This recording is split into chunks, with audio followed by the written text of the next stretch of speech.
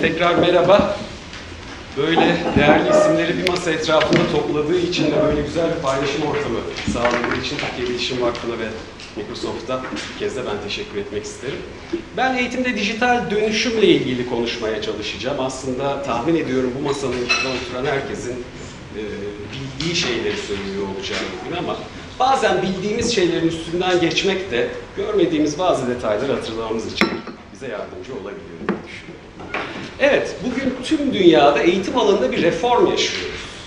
20. yüzyılın dünyamıza kazandırdığı yeni teknolojiler artık her gün her yerde günlük hayatımızın vazgeçilmez birer parçası haline geldi. Telefon olmadan iletişim kurmayı, bilgisayar olmadan neredeyse bilgiye ulaşmayı unuttuk.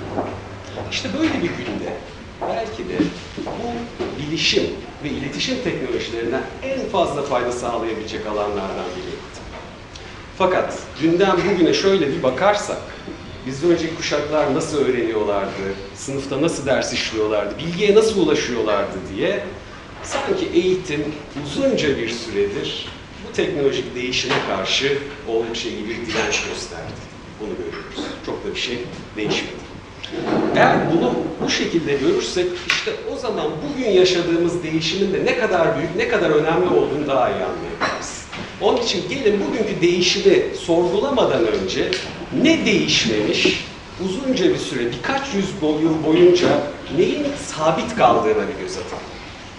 Bundan 2000 yıl önce tekerlekli araçlar icat edilmişti. 100 yıl önce seri üretim otomobiller hayatımıza girdi ve bugün otonom sürüş yapabilen, kendi kendine gidebilen arabaların olduğunu düşünüyoruz.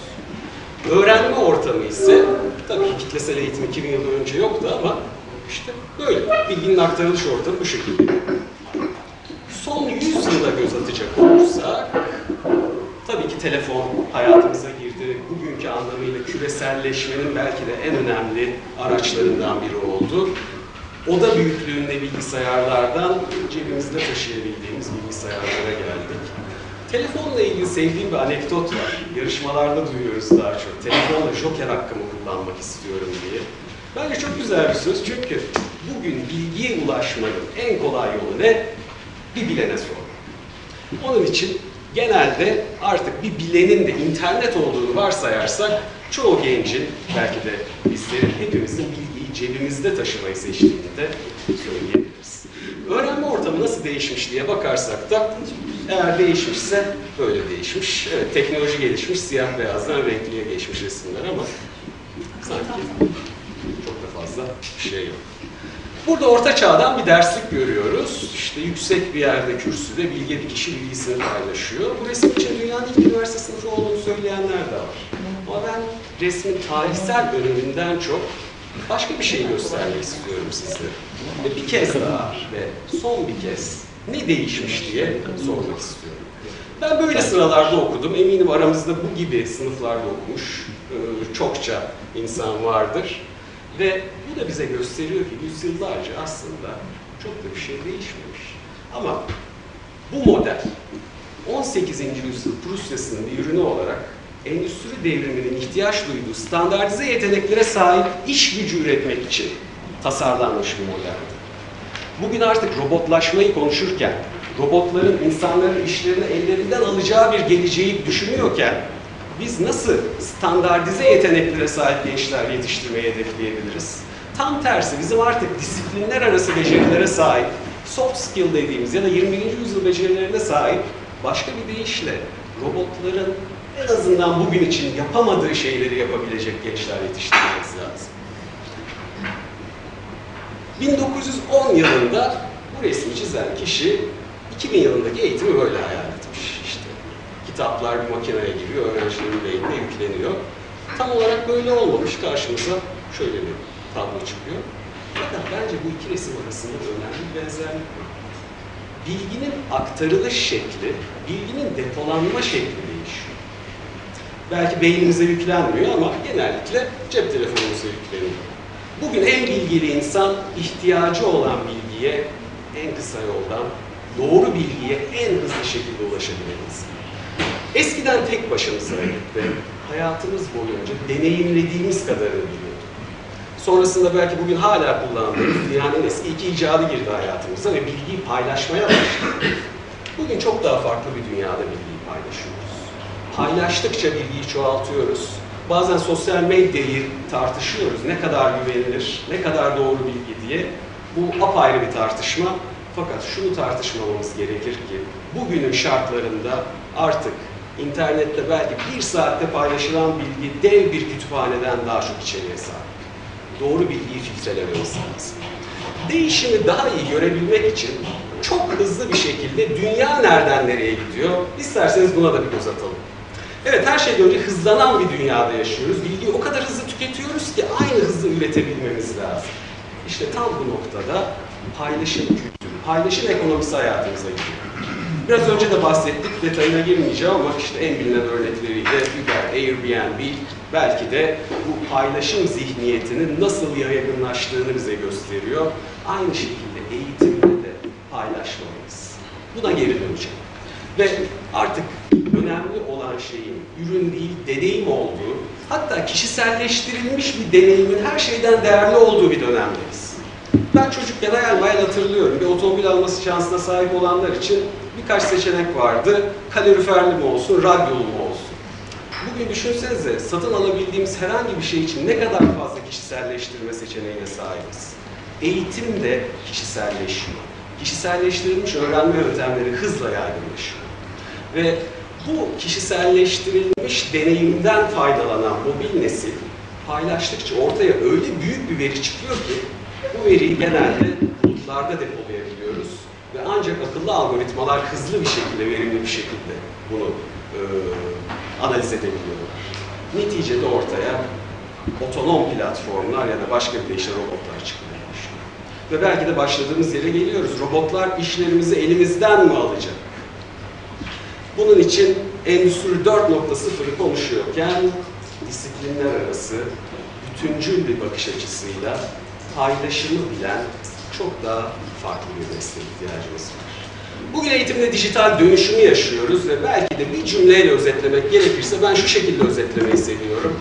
Eğitim veriye dayalı ve kişiye özel bir deneyime dönüşüyor. 1980'lerde Stewart Brand bilgi özgür olmak istiyor demişti. Bugün bilgi özgür. Her an, her yerde kendi hızımızda bilgiye ulaşabiliyor ve öğrenebiliyoruz.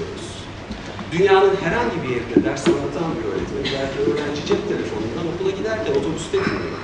Ya da biz eğitimciler bilgimizi sadece dört duvarda sınırlı kalmadan tüm dünyayla paylaşma şansı buluyoruz. Bu durumda eğitimcinin rolü dönüşüyor. Çok uzun detaya girecek kadar vaktimiz yok ama belki şöyle bir anekdot e, anlamamızı kolaylaştırabilir.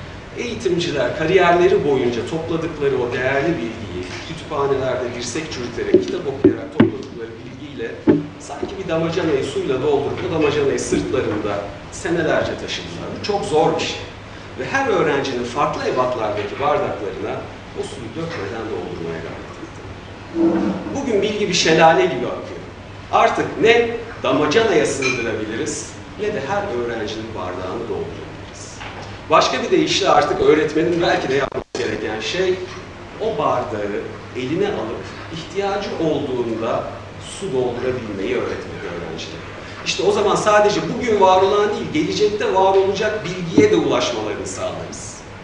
Ve kişiselleştirilmiş öğrenme deneyimi derken ne kastettiğimi olabilecek en basit şekilde şöyle söyleyeyim. Eğer öğrenmek A noktasından B noktasına gitmekse e, doğal olarak hepimiz farklı bireyleriz, farklı şekilde, farklı yöntemlerle ve farklı hızlarda öğreniyoruz. Hatta bazen öğrenemiyoruz. İşte akıllı algoritmalar bugün bizim zihin haritamızı, öğrenme haritamızı çıkararak A noktasından B noktasına en hızlı, en verimli, kendimize en uygun yoldan nasıl gidebileceğimizi bize gösteriyor.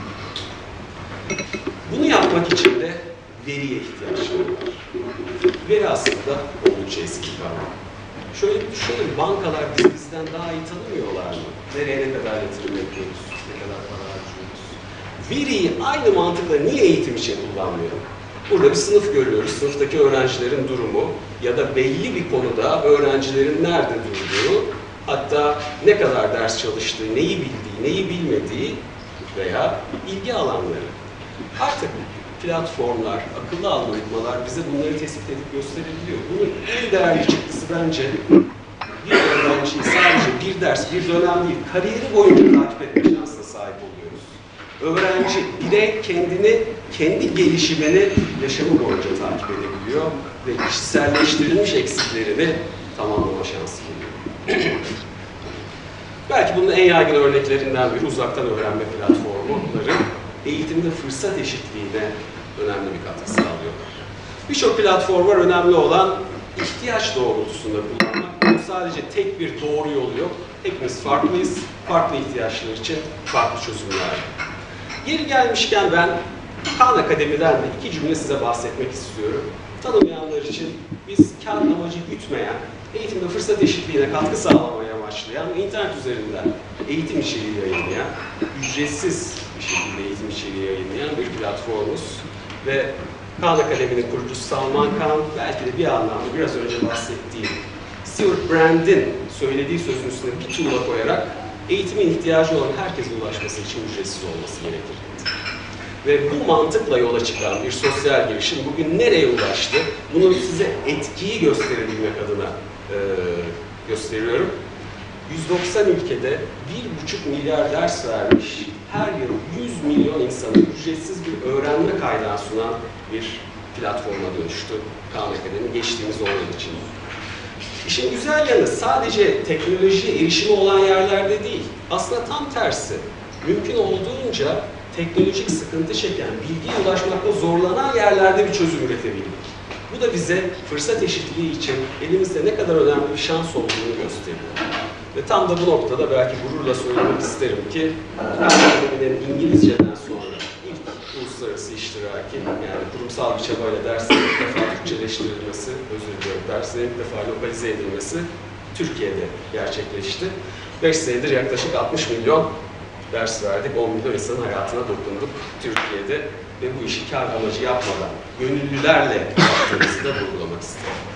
Sözlerimi toparlarken birkaç çok önemli olduğunu düşündüğüm şeyin altını çizip bitireceğim. Eğitim teknolojilerinden konuşurken ister istemez hepimizin aklına gelen soru şu. Gelecekte okullar ortadan kalkacak, öğretmenler yerine robotlar mı bize eğitim verecek? Ben dijital platformun temsilcisi olarak şöyle düşünüyorum. Biz insanlar sosyal canlılarız. Paylaştıkça, tartıştıkça, birbirimizle etkileşim içinde oldukça daha verimli öğreniyoruz. Dolayısıyla bence eğitim teknolojilerini insan olarak kullanmalı, insan faktörünü ön planda tutarak verimliliği arttırmak için ortamlar tasarlamalıyız. Paylaşmak niye çok önemli biliyor musunuz? Edgar Dale'in bir piramidi var, bunu herkes bilir. Ama ben hani çok kısa geçmem gerekirse, bir şeyi dinlediğimizde bunun yüzde beşi, yüzde onu, işitsel, görsel malzemeyle desteklediğimizde belki yüzde otuzu kalıcı oluyor. Eğer aktif olarak öğrenmenin içinde yer alırsak, belki hayatımıza taşıyabilirsek öğrendiklerimizi bu oran yüzde elliye, yüzde altmışa, yüzde yetmişe çıkıyor. Ne zaman ki bir başkasına öğretebilecek hale geliriz, işte o zaman bu bilginin yüzde doksanı kalıcı olur. Bunun için paylaşmalıyız. Ve bugün teknoloji bize paylaşmak için geçmişten çok daha fazla fırsat sunuyor. Uygulayarak öğrenmeliyiz. Sadece paylaşmak değil, yapmak, hayata taşımak burada çok önemli. Bir Türk eğitimciden bir cümle söylemek istiyorum. Burada çok daha uzun bir paragraf var ama diyor ki yapmak hem öğrenmek hem anlamak hem de bilmektir. İnsan bir şeyi yalnızca yaptığı oranda bilir. Bu sözü İsmail Hakkı Baltacıoğlu 1934 senesinde söylemiş. Bugün eğitimde dijital dönüşümü ya da eğitimdeki dönüşümü konuşurken bence hala geçerliliğini koruyan bir. Ve son olarak tam öğrenmeliyiz. Ustalaşarak öğrenmeliyiz. Eğer yüzde 90 alan bir öğrenci başarılı olarak kabul ediliyorsa belki de şunu düşünmeliyiz. Yüzde onluk bir kayıp bir sonraki öğrenmesi gereken konunun temelini oluşturuyor. Bizler liseyi bitirecek öğrenciler için 12 katlı, üniversite 16, doktora 20 derken yüksek binalar inşa etmeyi amaçlıyoruz. Temel ne kadar sağlam olursa o bina o kadar yüksek olmaz mı? Hepimiz 20 katlı binalar olmak zorunda değiliz. Ama temelimiz sağlam olmak zorunda ki ayakta kalabilelim. Bu çok da yeni bir kavram değil, bunu söylemek istiyorum. Benjamin Bloom 1984'te bu tespiti yapmıştı. Kısaca şunu söylüyor, eğer kendi hızında öğrenen bir ortam yaratabilirsek, işte başarı bu sarı yeşil renkten maviye kadar ulaşır. Bu bir toplumu bir noktadan başka bir noktaya taşıyabilecek kadar büyük bir fark. John Dewey ünlü eğitimci, bugünün çocuklarını düğün yöntemleriyle eğitirsek yarınlarından çalarız demişti yaklaşık 100 sene önce. Onun için 21. yüzyıl becerileri, soft skills ne dersek diyelim. Bence herhangi bir yüzyılla bunu birleştirmek çok anlamlı değil. Ama matematik kadar, fizik kadar, müzik kadar çocuklarımıza girişimciliği, inovasyonu, liderliği, takım çalışması bunları da öğretmeliyiz ki biraz önce konuşulduğu gibi ben de bugün öğrendim. Eskiden yüzde 60, bugün yüzde 80 olan geleceğin belirsiz işlerinde çocuklarımız daha başarılı olabilsinler. Eğer 21. yüzyıl becerileri arasında bir tanesini seç deseydiniz ben hayat boyu öğrenmeyi seçerdim. Bu kadar hızlı dönüşen bir dünyada artık eğitimde dijital dönüşüm geri döndürülemez bir süreç bu dönüşümün yaratacağı liderler olabilmek için çok hızlı adapte olabilmeli ve hayat boyu öğrenerek kendimizi geliştirmeye becerebilirsek belki de bu dönüşümü yöneten liderler olabiliriz diye düşünüyorum.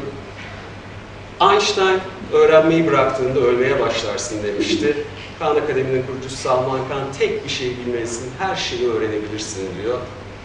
Sanırım bu sözün altını doldurmaya gerek yok.